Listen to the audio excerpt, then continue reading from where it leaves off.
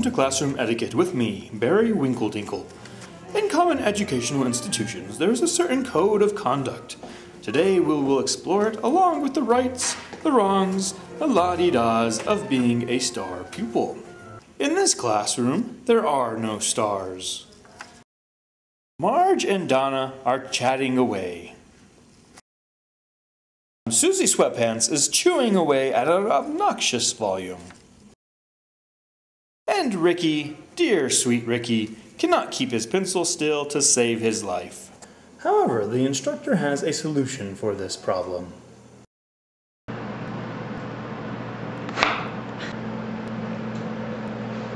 There, isn't this nice?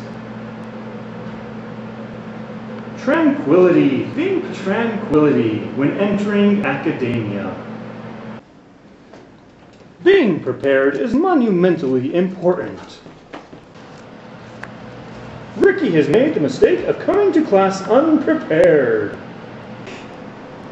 As you can see, he only needed to bring a pencil and notebook, presumably for notes. Tough luck, Ricky.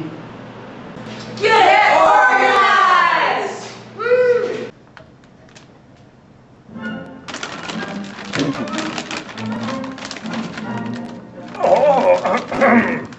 as human beings, we hunger.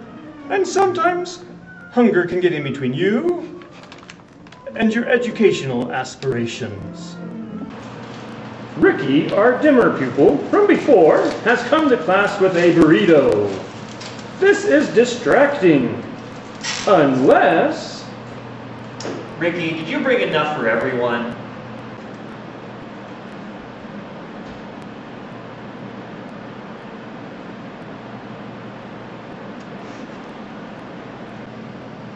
Ricky wasn't going to play the fool today.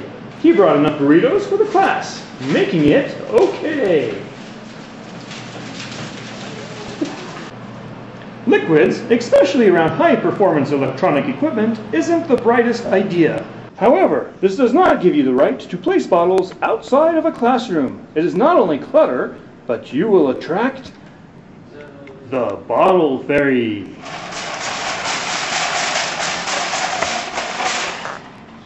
Bottles! Bottles! Bottles! Bottles! Bottles!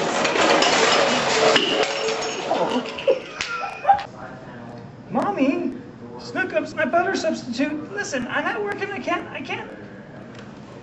And finally, there's the subject of mobile communication devices in class. As important as you think your friends really are, you don't need to have them beep, beep, and buzz, buzz you in class. If this happens, you will unfortunately be asked to leave.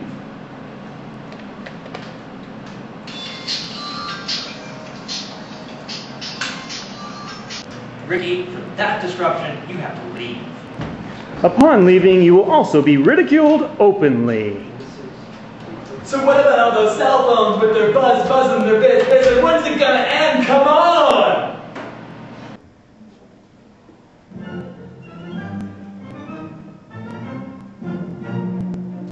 Well, after what you've learned today, I expect that the Ricky in you has wizened up.